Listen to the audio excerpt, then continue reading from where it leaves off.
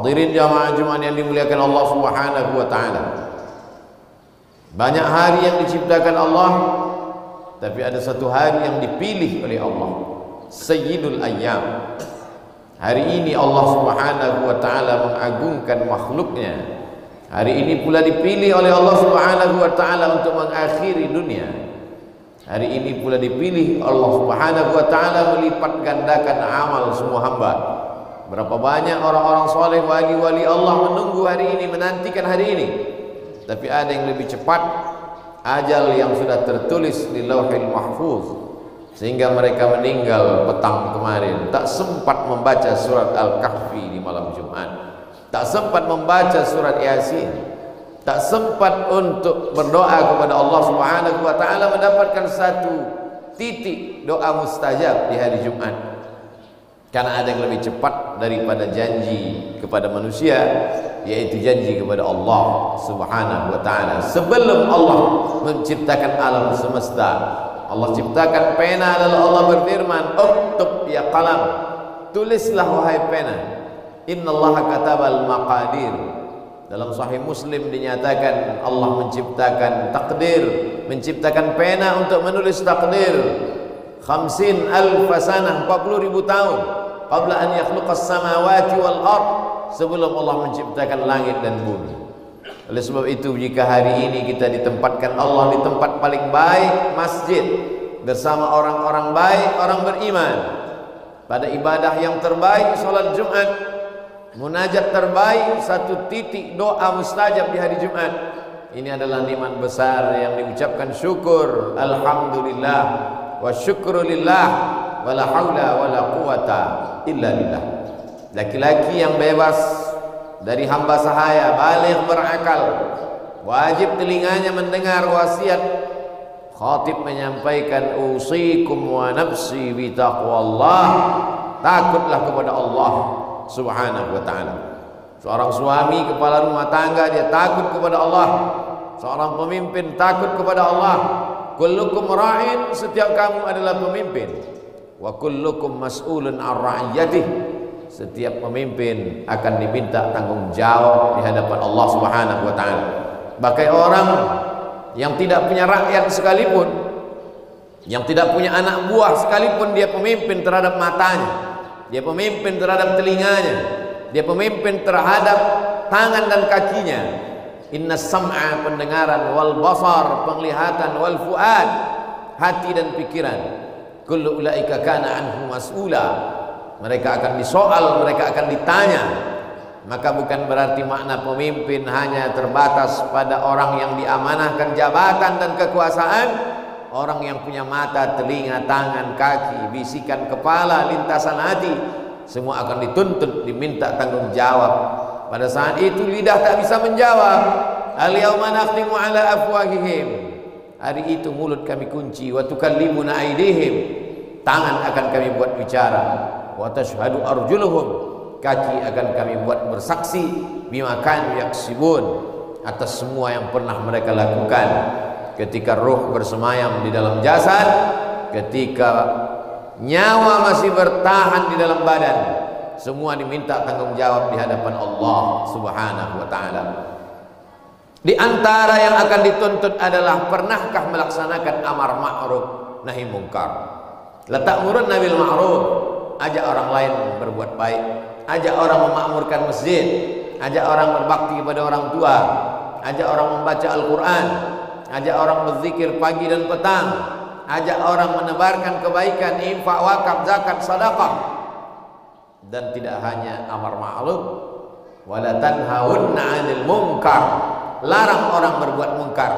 Larang orang melakukan hubungan seks tanpa ikatan seks bebas. Larang orang melakukan LGBT larang orang melakukan minum khamar. Larang orang melakukan perbuatan yang dilarang Allah Subhanahu wa taala. Seimbang antara amar ma'ruf nahi mungkar. Umat ini dipuji oleh Allah. Kuntum khaira ummah. Kalian umat terbaik. Apa syarat umat terbaik? Ta'muruna bil ma'ruf mengajak orang berbuat baik. Wa tanhauna 'anil munkar. Melarang orang dari perbuatan mungkar. Siapa yang tidak melakukan amar ma'ruf nahi munkar la yusikanna iya ba'athallahu 'alaikum iqaban dikhawatirkan akan dikirimkan Allah hukuman. Tsunami gunung meletus gempa bumi. Naik semua musibah ke atas bumi. Turun semua azab dari langit ke bumi. Gara-gara tidak melakukan amar ma'ruf nahi munkar ketika azab sudah datang summa tad'unahu. Kalian berdoa beramai-ramai berkumpul di tanah lapang istighasah kubra munajat kepada Allah. Fala yustajabu lakum. Doa kamu tak dikabulkan. Mengapa doa tidak dikabulkan? Karena meninggalkan amar ma'ruf nahi munkar tidak ada kemungkaran yang lebih hebat daripada memperbudak manusia. Tidak ada kemungkaran yang lebih dahsyat membiarkan orang kafir berkuasa. Oleh sebab itu 75 tahun yang lalu nenek moyang bangsa Indonesia melawan penjajahan. Mereka bukan mengambil rempah. Karena kalau hanya untuk mengambil kulit manis bawang tidak perlu mereka menyeberang dari dataran Eropa ke Asia dengan kapal dengan kesulitan yang begitu hebat apa sebenarnya yang memotivasi mereka datang ke negeri ini Jawabannya mesti dicari oleh anak-anak muda generasi ini. Dikatakan mereka datang hanya untuk mengambil bumbu, mengambil rempah, tidak masuk akal. Ada hal lain yang ingin mereka lakukan. Maka bangkitlah para ulama, pondok pesantren beserta santri-santrinya, Mufti Syekh Ahmad Zaini Dahlan dari Makkah Al-Mukarramah, dari Al-Masjidil Haram menulis fatwa halal darah penjajah kafir laknatullah. Halal mereka dibunuh. Dan siapa yang memerangi mereka maka dia mati sebagai syahid. Bergejolak perlawanan di Nusantara dari Sabang sampai Papua maka mereka yang terbunuh mereka bangga mereka mati sebagai syahid. Yang dijanjikan Allah Ta'ala tidak merasakan sakratul maut tidak merasakan azab kubur tidak merasakan hisab masuk langsung ke dalam surga mendidih darah mereka tak sabar mereka menghabiskan harta benda untuk mengorbankan nyawa sebagai syahid. Karena darah syuhada itulah kita merdeka. Oleh sebab itu dikatakan dalam preambul pembukaan Undang-Undang Dasar 1945 atas berkat rahmat Allah dan keinginan luhur bangsa Indonesia. Maka dengan ini bangsa Indonesia menyatakan kemerdekaannya. Kita merdeka bukan karena bambu runcing. Kita merdeka bukan karena tank dan senapan. Kita merdeka atas rahmat Allah yang dijemput dengan darah syuhada. Rahmat Allah yang dijemput dengan pengorbanan maka dipilihlah hari paling mulia hari Jumat. Bulan paling mulia bulan Ramadan. Tanggal yang sesuai dengan jumlah rakaat salat. Orang muslim beriman kepada Allah. 17 Agustus 1945 bukan tanggal biasa bukan hari biasa. Tanggalnya adalah tanggal jumlah rakaat Muslim bersimpuh sujud di hadapan Allah. Harinya 17 Agustus 1945 itu hari Jumat. Bulannya satu-satunya bulan yang disebut dalam Al-Quran. Syahrul Ramadan alladzi unzila fihi Al-Quran. Generasi ini jangan pernah melupakan.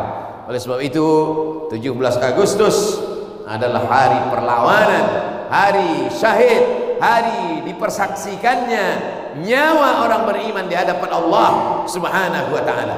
Jangan sampai generasi bangsa ini melupakan, menganggap ini remeh temeh. Hari ini orang membenturkan, siapa yang berteriak Allahu Akbar berarti anti kebangsaan.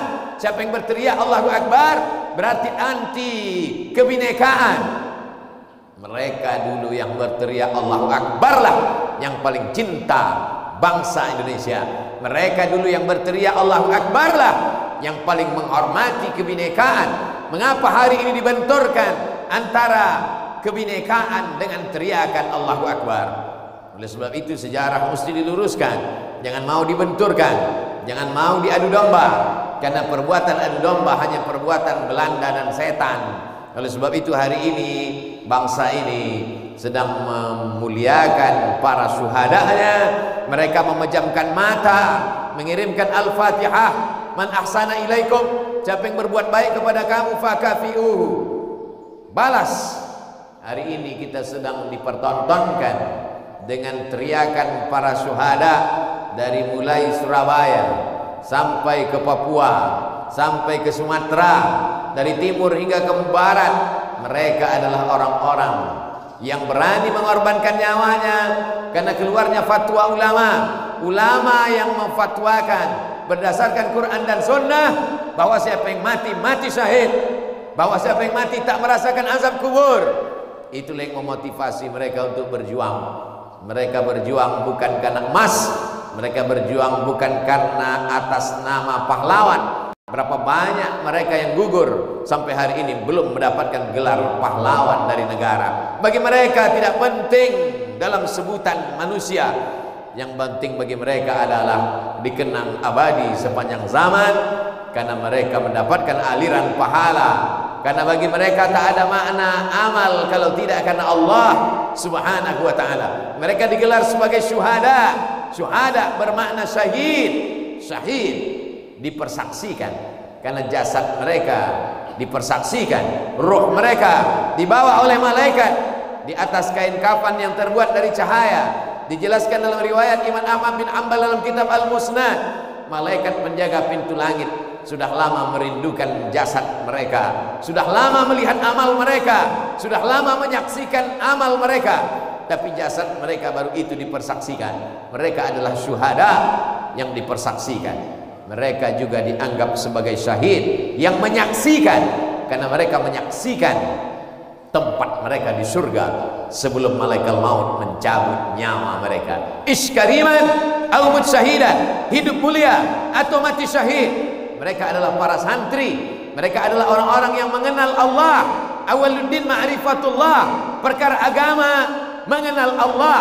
Kalau sudah kenal Allah maka dunia ini tak sampai satu sayap nyamuk setengah sayap nyamuk. Man arafat dunia hanan alai. Siapa yang mengenal dunia ringan dunia ini. Ketika teriakan Allahu Akbar penuh di dadanya ketika teriakan Allahu Akbar penuh di lisannya teriakan Allah Maha Besar maka ringan kecil dunia ini dalam pandangan matamu. Teriakan Allahu Akbar maka ringan kecil dunia ini dalam genggaman tangan. Mereka adalah syuhada. Mereka bukan hanya yang terbaring di makam pahlawan. Mereka adalah orang-orang yang rohnya di dalam paruh burung berwarna hijau terbang kian kemari dibawa oleh burung-burung di dalam surga kemanapun mereka kehendak sesuai dengan kehendak Allah subhanahu wa ta'ala Hari ini santri-santri dididik untuk mengenal Allah, tidak takut masa depan. Bekal mereka adalah keyakinan yang kuat. Wa ma min dabbatin fil ardi illa 'ala Allah rizquha. Tidak ada satupun yang melata di atas muka bumi ini kecuali Allah menjamin rezekinya. Kenapa orang korupsi? Kenapa orang memalsukan nilai ujian? Kenapa orang membuat ijazah palsu? Kenapa orang menipu untuk menjadi pegawai? Kenapa orang menyogok? Karena takut tidak makan. Kalaulah 75 tahun yang lalu mereka takut sampai hari ini kita tidak akan merdeka. Rasa takut itu hanya untuk Allah. Maka mereka diajarkan doa, Allahumma qsim lana min khasyatik. Tanamkan rasa takut dalam hati kami. Tahulu bainana wa baina ma'asik. Dengan rasa takut itu kami tidak jadi melakukan perbuatan maksiat. Ittaqullah haqqa tuqatih. Takutlah sebenar-benar takut. Karena takut itu saja yang menyelamatkan dari azab Allah Subhanahu wa taala. Hari ini orang sudah habis takutnya kepada makhluk. Takut tidak makan takut tidak kerja takut tidak bisa mencari nafkah takut akhirnya hari ini orang didera oleh rasa takut ketakutan itu membuat imannya turun Takut itu datang karena imannya jatuh. Kalau sudah takut, maka iman imun. Imun menjadi turun disebabkan rasa ketakutan yang luar biasa. Takut kena PHK, takut tidak kerja, takut tidak makan. Ketakutan yang amat sangat mengerikan membuat imun menjadi turun. Terkena terserang wabah COVID-19. Oleh sebab itu bangkitkan rasa takut kepada Allah, kuatkan keyakinan ketakwaan kepada Allah, iman meningkat, imun pun naik segala macam wabah menjadi hilang. Tidak ada yang berkuasa kecuali Allah. Siapa nama dia? Allah. Adakah yang berkuasa selain daripada dia? La ilaha illa huwa. Apakah dia hidup? Al hayyu dia maha hidup. Apakah dia mengatur hidup al qayyum dia mengatur hidup. Mengantukkah dia? La ta'khudhuhu sinatun wala naum apa punya dia? Apa harta dia? Apa benda dia? Lahu ma fis samawati wa ma fil ard. Ada yang bisa menolong kalau dia tidak memberi izin? Man dzalladzi yashfa'u indahu illa bi idzni tahukah dia ada rasa takut dalam hati kita tahukah dia terlintas pikiran kita mengatakan takut kepada selain dia? Ya'lamu ma baina aydihim wa ma khalfahum wa la yuhituna bi syai'in min ilmihi illa bima syaa. Berkuasakah dia? Hebatkah dia?